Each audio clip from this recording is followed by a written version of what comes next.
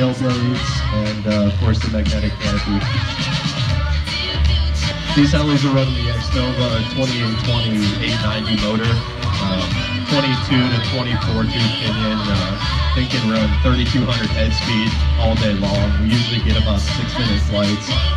6S, 1800 milliamp pulse batteries, uh, Hobby Wing 60 amp ESC, and the thing just flies great.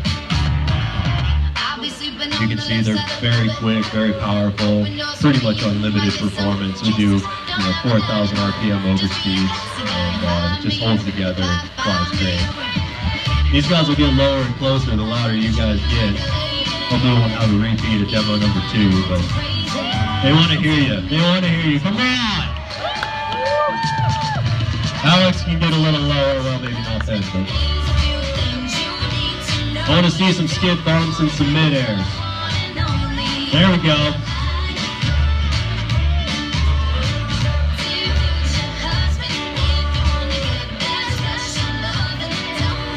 Yeah, Brian's got the skid bump. That's got the skid bump. They crossed paths. That was close.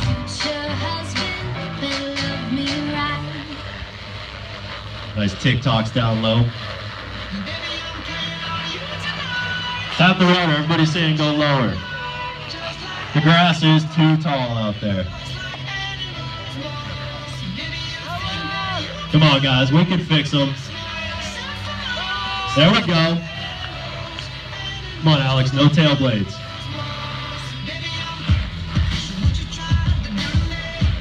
Come on, people. Let's hear it. These guys are throwing down. Saturday demos. Nothing goes home in one piece. Alex is flying a Jeti radio with the uh, capacity telemetry.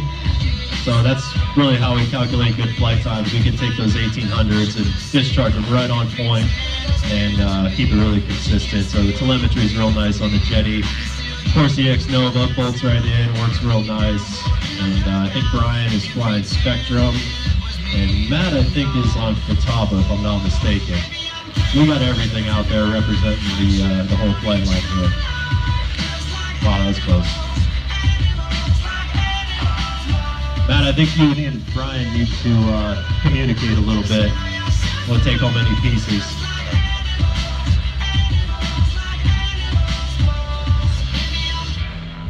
I think the bottom just moved up like 10 feet. What are you guys doing? Get them down. Come on, people. Let me hear some noise. What's Alex doing up there? Everybody look up. Let's see what this guy's doing. Power flip auto. Let's do it. Come on. Oh, nice. Oh, they folded it over. And Brian had to taunt him a little bit. We know what happens when you taunt a crashed helicopter. It doesn't end well. Don't hit those tail blades on the ground, Brian. Ooh, main blade's all right.